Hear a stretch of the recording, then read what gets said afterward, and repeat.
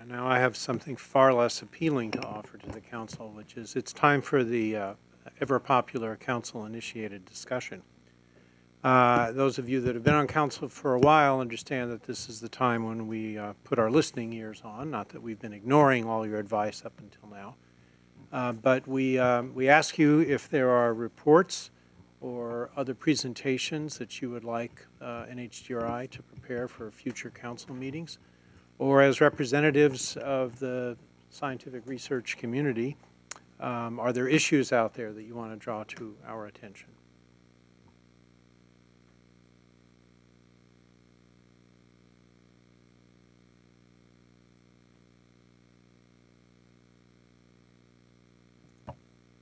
Wow, compliant group. Go ahead, Eric. Since these often turn into guest speakers, you know, a year from now or two councils from now, I wonder if it would be good to get a council meeting on Eric Dishman's calendar once, you know, NHGR was very much involved in the early planning, conceiving of PMI. It's now morphed two or three times and its reality has a new name. Maybe it'd be good to have Eric come in. It's a great suggestion. is A it? lot's happening, Yeah. and, um, and the launch is imminent, and um, we're, we're increasingly interactive with them. And so I think I could have a conversation with Eric and figure out whether September is the right time or more like February. But I think some, one of those, I think I would agree. It's a good idea, good suggestion. I, I, I like, um, I, I like the fact that, uh, I, I like to see, you know, con, you know, regular touching base with them, including with council, including among the advisors would be a great idea. Um, well, it was mentioned earlier today that I believe it's the Institute of Medicine that just issued this report on genetic evidence and whether, I downloaded it, it's like 150 pages, whether what's studies that are recommended for genetic evidence or evidence for genetic testing. I was wondering if perhaps at a future council, having someone that was on that committee discuss those findings in more detail, since we talk about it in a lot of our grant applications now and concepts.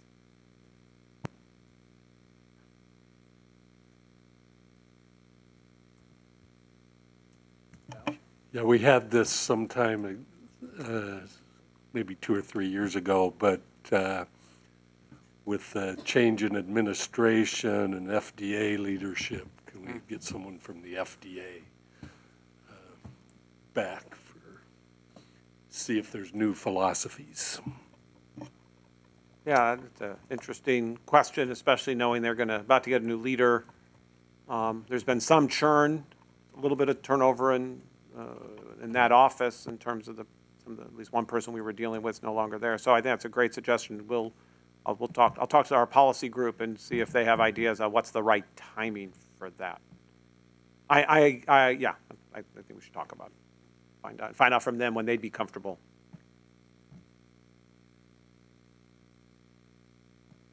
Yeah, Jeff? you have a particular interest in the NSIGHT grants. Uh, We haven't heard about those in recent meetings, so uh, can we get an update on those at the next meeting or two? Okay. I will, um, I, I will point out that, um, uh, I mean, as you know, Child Health Institute has, uh, when Diana presented here, and, uh, the last council meeting, Diana Bianchi, and, um, and, you know, lots of good discussions continue, uh, with them. We have some meetings, a meeting schedule coming up, a long, long, a detailed meeting to really discuss with them other additional opportunities for collaborations uh, in the extramural program. So I think maybe the timing would be good to look at that. This may be planning way, way, way in advance, but you know, particularly thinking about as some of the bigger programs um, come up. You know, I know some of them just renewed, but come up for renewal a couple of years from now. You know, as we've discussed in the past, having them, uh, you know, having some presentation from scientists involved with those programs. You know, two to four council meetings in advance of when we'd actually be talking about it would be great. So, yeah, Jay, maybe I can make a comment without, with it being relatively vague because it's not structured yet. But, but along those lines, um, maybe I should just point out, I'm happy to, to to, be very open about this, the, the fact that the date on our, our current strategic plan is 2011, and it's now 2017, and by the time we blink twice, it'll be 2018. So we started some internal discussions about, you know, uh, the, the likely need, uh, well, we certainly need to renew that strategic plan.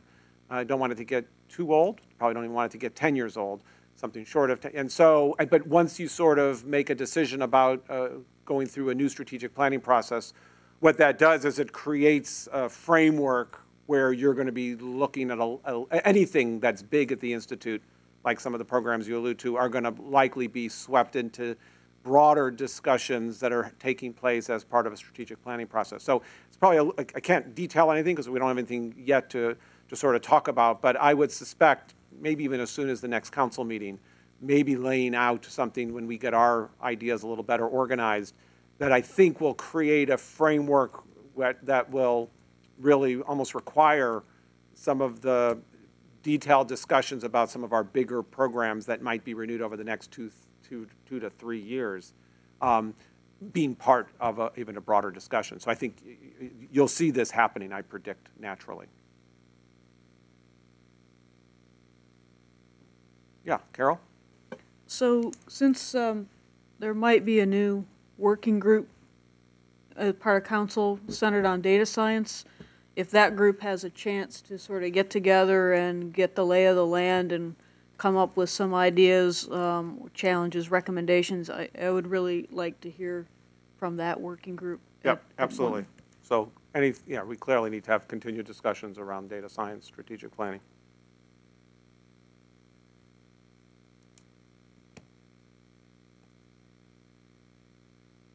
Okay. Thank you very much. Um, It's uh, time for me to read the conflict of interest statement, and um, this applies to the, all the applications that you will be reviewing in the closed session. You must leave the meeting room when applications submitted by your own organization are being individually discussed. In the case of state higher education or other systems with multiple campuses that are geographically separated, own organization is intended to mean the entire system, except where a determination has been made that the components are separate organizations for the purpose of determining conflict of interest. You should avoid situations that could give rise to charges of conflict of interest, whether real or apparent. For example, you should not participate in the deliberations and actions on any application from or involving your spouse or child, a recent student, recent teacher, a professional collaborator with whom you have worked closely, close personal friend, or a scientist with whom you have had longstanding scientific or personal differences.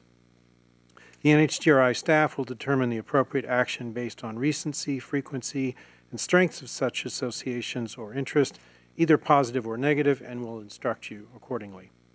In council actions in which your vote on a block of applications without, in which you vote on a block of applications without discussing any individual one application, the on-block action, your vote will not apply to any application from any institution fulfilling the criteria noted above. Please sign the conflict of interest and disposal of confidential materials forms, which are provided in your um, folders. They'll be collected uh, at the end of the meeting.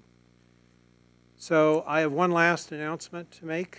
Uh, In June and July, we will be uh, bringing on board a new set of uh, program analysts. They will be introduced to you at the September meeting, Um, but we'd like to say goodbye to a group who are um, leaving us, moving on to something uh, bigger and better in life. So could I ask the following people to stand so that we can recognize you and embarrass you at the same time? Uh, Julia Baker, Colette Fletcher-Hoppe, Kevin Lee, and Jonathan LoTempio.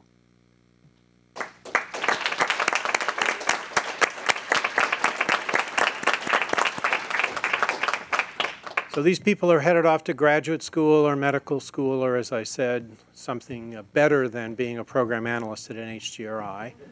Uh, I think the, there are plenty of things better than that. um, I think council understands uh, how many large consortium programs NHGRI supports. And um, managing those weekly phone calls, data calls, report writing, organizing annual meetings, uh, it's, it's an enormous amount of work, and the program directors would be bitter, bitter folks if they had to do this without the uh, dedicated assistance of the analysts. So thank you very much, and I think you can gavel us into the closed session. Okay, we are adjourned. We're adjourned for much. about 10, 15 minutes, let the uh, communications staff take apart the uh, video casting, and then we'll resume. Okay? 15-minute break.